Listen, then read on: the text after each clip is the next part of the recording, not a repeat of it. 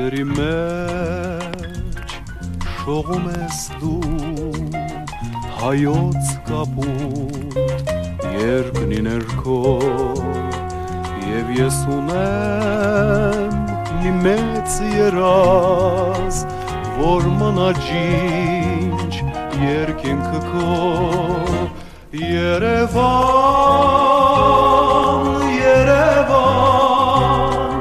իմ միակ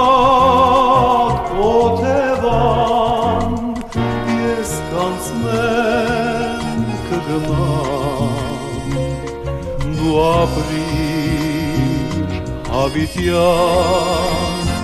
Երևան, Երևան, իմ միակ օթևան Ողջույն իմ սիրելի հյուրեր։ Չէ, ողջույն իմ սիրելի վիրտուալ հյուրեր։ Իմ անունը Անի է, ես զբոսավար եմ, ապրում եւ աշխատում եմ Հայաստանում։ Չէ, ավելի ճիշտ աշխատում էի։ Մինչև իդը աշխատում էի որպես զբոսավար Հայաստանում։ Իսկ այժմ իդի պայմաններից ելնելով ես եւ դուք զրկված ենք որոշ ժամանակով ճամփորդելու իրավունքից։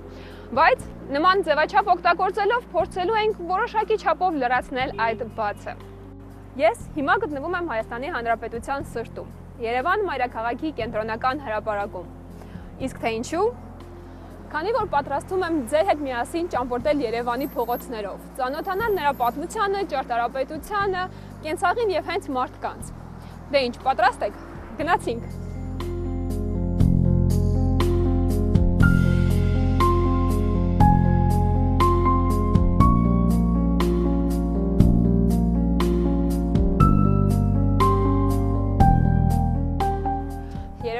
Հայաստանի Հանրապետության մայրաքաղաքն է եւ ամենամեծ քաղաքը։ Չնայած այն հանգամանքին, որ նա համարվում է աշխարհի հնագույն քաղաքներից մեկը, Երևանը այսօր երիտասարդ, արևաշատ եւ ժամանակակից աշխարհին համապատասխան զարգացող քաղաք է։ Ինչպես գիտեք, իսկ ես համոզված եմ, որ դուք գիտեք, Երևանը գտնվում է Արարատյան դաշտով հոսող Արաքս գետի վտակ հանդիսացող Հրազդան գետի ափին մոտավորապես 900-ից 1200 մետր բարձրության վրա։ Դեպի հարավ արևմուտք Երևանը բացվում է դեպի Արարատյան դաշտավայր։ Եվ լավ եղանակի պայմաններում, իհարկե, եթե լեռը ինքը լավ տրամադրություն ունենա, քաղաքի տարբեր անկյուններից հնարավոր է տեսնել հիասքանչ տեսարան դեպի բիբլիական Արարատ լեռը իսկ քաղաքի հյուսիսային եւ հյուսիսարևելյան հատվածները ամֆիթատրոնով բարձրանում են դեպի Լեռնային գոտի։ Դրա համար երբեմն ասում ենք, որ Երևանը կարծես թե գտնվում է թասի մեջ։ Ամառը, եթե այցելեք Երևան, շատ շոկ է լինելու եւ պատրաստ եղեք կիզիչ արևին։ Չնայած շատ շուտով սովորելու եք փրկությունը գտնել փարթամ ծառերի ստվերի տակ կամ փնտրել աչքերով եւ գտնել փոքրիկ սառնորակ ցայտաղբյուրները, որոնք քաղաքում ամենուրեք են, բայց դրա մասին կխոսենք հաջորդի։ Իսկ ձմռանը մայրաքաղաքը բավականին ցրտաշունչ է։ Ինչպես տեսնում եք, երբեմն այն կարող է դիմավորել թանձր մարախուղով, երբեմն պայծառ արևով։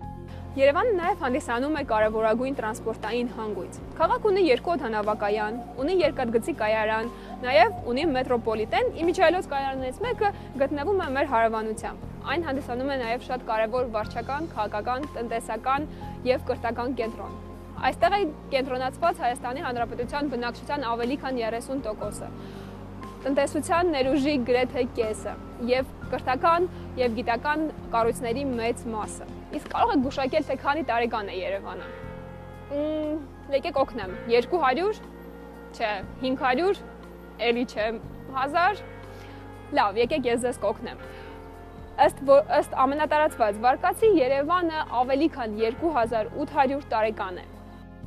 Չնայած այն բանի, որ հնագիտական պեղումների արդյունքում Երևանի տարածքում հայտնաբերվել են նույնիսկ վաղ բրոնզեդարյան կոթողներ, ինչպիսին օրինակ է Շենգավիթի հնավայրը, Երևանի ցագումը վերագրում են կուրարտական դարաշրջանի։ Համարվում է, որ Երևանը սկիզբ է առել Էրեբունի Բերտաքաղաքից։ Պեղումների արդյունքում հայտնաբերվել է այսպես կոչված Երևանի ծննդյան վկայականը։ Ուրարտական սեպագիր արձանագրություն, որտեղ նշվում է, որ Ուրարտուի թակավոր Արգիշտի առաջինը 782 թվականին հիմնել է Երևանի Բերտակ քաղաքը։ Այստեղից էլ եւ հավանաբար ծագում է առել Երևան անվանումը։ Իր այս 2800 տարվա պատմության ընթացքում քաղաքը ապրել է վերելքներ եւ վայրեջքներ։ Աշխարհակահաղական պայմաններից ելնելով չեն կարողացել խուսափել պատերազմները եւ դրա պատճառով քաղաքը մի քանի անգամ ամբողջովին ավիրվել է եւ վերակառուցվել զրոյից։ Մի քանի անգամ տարբեր հայ եւ օտարացի պատմիչների կողմից այն նշվել է որպես ծաղկուն եւ առևտրի կենտրոն հանդիսացող քաղաք։ Իսկ ներկայիս Երևանը իր տեսքը ստացել է 1924 թվականին Ալեքսանդր Թամանյանի կողմից նախագծված հատակագծով։ Ալեքսանդր Թամանյանի մասին դեռ շատ ենք խոսելու Երևանի տարբեր անկյուններում եւ տարբեր փողոցներում։ Դե ինչ, հravirում եմ ձեզ ինձ հետ միասին շրջել Երևանի փողոցներում եւ հերո չգնանք, սկսենք հենց այստեղից։ Մենք գտնվում ենք Հանրապետության հրապարակում։ Այն Թամանյանական հատակագծի սիրտն էր։ Նախագծված 1924-ից 36 թվականները եւ կառուցապատումը շարունակվեց մինչեւ 60-ական թվականները։ Նախկինում հրապարակը կոչվում էր Լենինի հրապարակ։ Դե բարձ ապրում էինք Սովետ միության տարածքում։ Հենց այն վայրում, որտեղ որ ես կանգնած եմ, գտնվում էր Լենինի բարձրադիր արձանը։ Արձանը ապամոնտաժվեց անմիջապես ԽՍՀՄ փլուզումից հետո, 91 թվականից հետո։ Լենինի մարմինը այժմ գտնվում է ազգային պատկերասրահի հետնամասում, իսկ նրա գլուխը պատկերասրահի պահեսներում։ Հավանաբար լսած կլինեք Վարդագույն քաղաք եզրույթը։ Ամբողջ Երևանը, իսկ մասնավորապես Հանրապետության հրապարակը, շենքերը, կառույցները ամբողջովին երեսպատված են սպիտակ եւ վարդագույն ֆեզիտային տուֆով, որը հաղորդում է հրապարակին շատ նուրբ եւ գեղեցիկ վարդագույն երանգ։ Ճարտարապետական անսամբլի կենտրոնում գտնվում է Հայաստանի պատմության թանգարանը եւ ազգային պատկերասրահը։ Հենց իմ մեջքի հետևում։ Այն նախագծված է առաջին հարկերը նախագծված են Ալեքսանդր Թամանյանի կողմից, իսկ հետագայում ավելացվել է բարձրահարկ ազգային պատկերասրահի հատվածը։ Թե ազգային պատկերասրահի, թե պատմության թանգարանի հավաքածուները համարվում են եզակի եւ հատկապես պատմության թանգարանի հավաքածուն համարվում է աշխարհում ամենա հարուստ հավաքածուներից մեկը։ Հրապարակի ամենաառաջի կառուցված շենքերից մեկը կառավարության շենքն է, որը այս պահին գտնվում է իմ մեջքի հետևում հայտնի ժամացույցով շենքը։ Մինչև ժամանակակից տեխնոլոգիաների հայտնվելը, ժամացույցով շենքը համարվում էր Երևանցիների ամենասիրելի ժամադրությունների վայրը։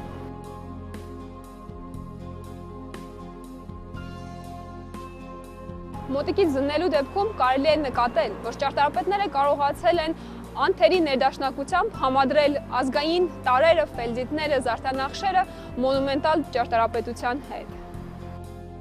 Անմիջապես կառավարության շենքի հանդիպակաց մայթին գտնվում է կառավարության երկրորդ շենքը։ Այստեղ որոշ ժամանակ տեղակայված էր Հայաստանի արտաքին գործերի նախարարությունը, իսկ այժմ շենքը գտնվում է վերանորոգման փուլում։ Իսկ այս գեղեցիկ կամարակապ ֆասադով շենքը նախին կապի եւ արմիության շենքն է։ Այս պահին շենքում գործում են մի քանի գրասենյակներ, բանկեր եւ փոստային ծառայություն։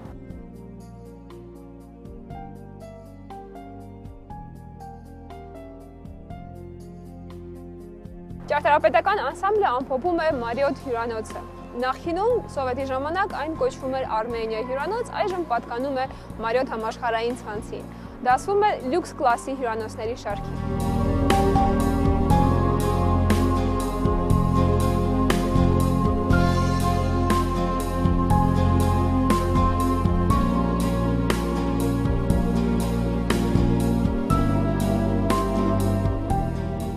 դատարկ ավազանը ամռանը Երևանի գլխավոր շատրվանն է։ Երեկոյան այստեղ հավաքվում են երևանցիները եւ քաղաքի հյուրերը վայելելու գեղեցիկ շոու ծրագիր պարող եւ երգող շատրվաններով։ 2007 թվականին այն ամբողջովին վերանորոգվել է եւ հավելացվել արդիական տեխնոլոգիաներով, որը թույլ է տալիս ստանալ գեղեցիկ էֆեկտներ ջրի եւ երգի համադրությամբ։ 2003 թվականին հրապարակում տեղի ունեցան ռեստավրացիոն մասշտաբային աշխատանքներ, որի արդյունքում հենց կենտրոնական հատվածում պեղվեցին քաղաքի ավելի հին հատվածները։ Ցավոք սրտի այդ ընթացքում հնարավորություն չեղավ ավելի մանրամասն ուսումնասիրել պեղված նյութերը, բայց ակնկալի կունենք, որ շատ շուտով հնագետները կշարունակեն աշխատանքները եւ մենք կբացահայտենք նոր եւ նոր գաղտնիքներ մեր քաղաքի մասին։ Դե, եկեք, եկեք գնանք տեսնենք էլ ինչեր ենք բացահայտում։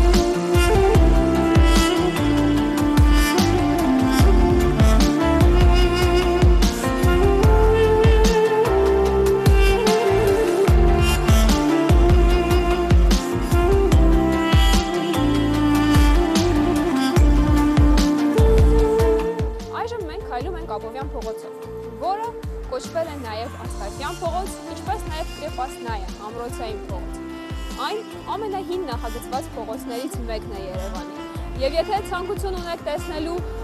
19-րդ դարի վերջի, 20-րդ դարի սկզբի շինություններ պահպանված Երևանում, դուք պետք է անպայման այցելեք Աբովյան փողոցը։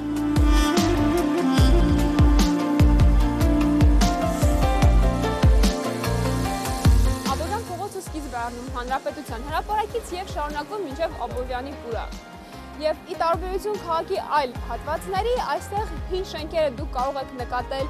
սև եւ կարմիր տուֆերի շնորհիվ։ Այս համադրությունը տալիս է յուրահատուկ ճարտարապետական հմայք այս փողոցին եւ ընդհանրապես Երևան քաղաքին։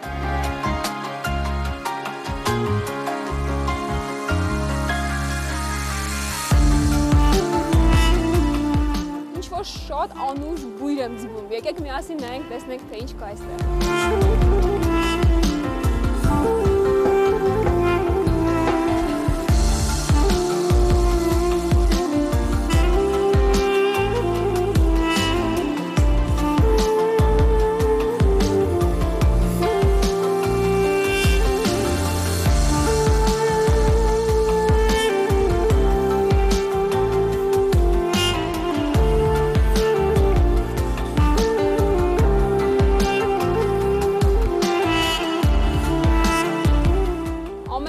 ամենահամեղ հայկական անուշեղենները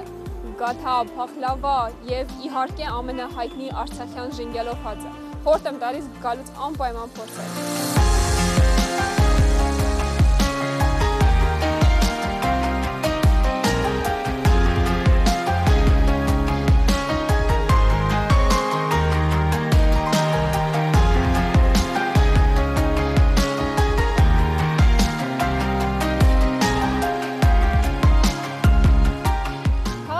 չի առանց իր բնակիչների։ Խնդրեմ, ծանոթացեք։ Կարաբալա։ Նույն ինքը Ստեփան Հարությունյան։ Ըստ լեգենդի, նա ապրել էր Երևանում 20-րդ դարի սկզբին։ Հավանաբար ծնվել էր 1900-ական թվականներին։ Շատ հետաքրքիր եւ դժբախտ ճակատագիր ունեցող մի անձնավորություն, որը ժպիտ էր պարգևում Երևանի բնակիչներին։ Մի զամբյուղ ծաղիկներով նա շրջում էր արդեն ծեր տարիքում փողոցներով եւ ծաղիկներ էր բաժանում անցնող կանանց եւ աղջիկների։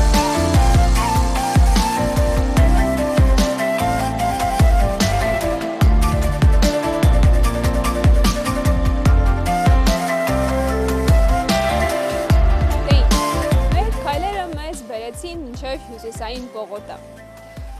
Հյուսային պողոտան իր կառուցման ավարտը ստացավ 2007 թվականին, մինչ այդ այս ամբողջ տարածքը բնակելի տներ էին, ցածրահարկ շենքեր։ Հիմա Հյուսային պողոտան ժամանակակից եւ եղեցիկ փողոց է, որտեղ գտնվում են բնակելի տներ, հյուրանոցներ, ռեստորաններ, սրճարաններ, խանութներ եւ այն հանդիսանում է Երևանցիների սիրելի զբոսանքի վայրերից մեկը։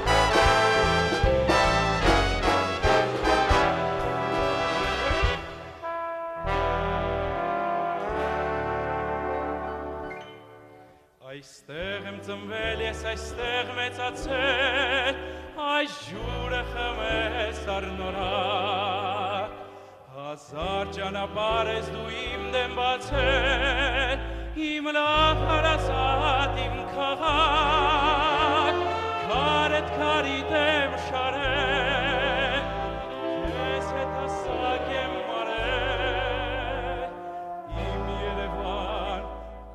Պողոտան կապում է Հանրապետության հրապարակը Ազատության հրապարակի հետ։ Եվ այն ի սկզբանե եղել էր ճարտարապետ Ալեքսանդր Թամանյանի նախագծի գլխավոր առանցքային կետերից մեկը՝ հյուսիսային ճառագայթի մի հատվածը։ Իմ վարտագույն ընկեր, ես թող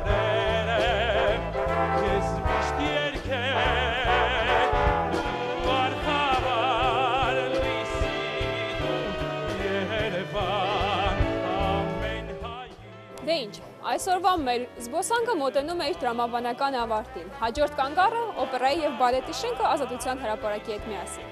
Իսկ դրա մասին կխոսենք արդեն հաջորդ վիդեոյում։ Մինչ հանդիպում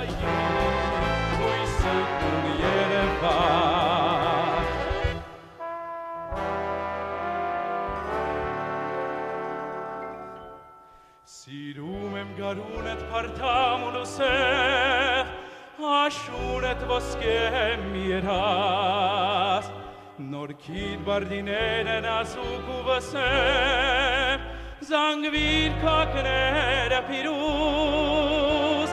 քեզ հետ կիսել եմ ես միշտ թե խնդություն և թե վիշտ իմ երևան քո կանաչ սրտի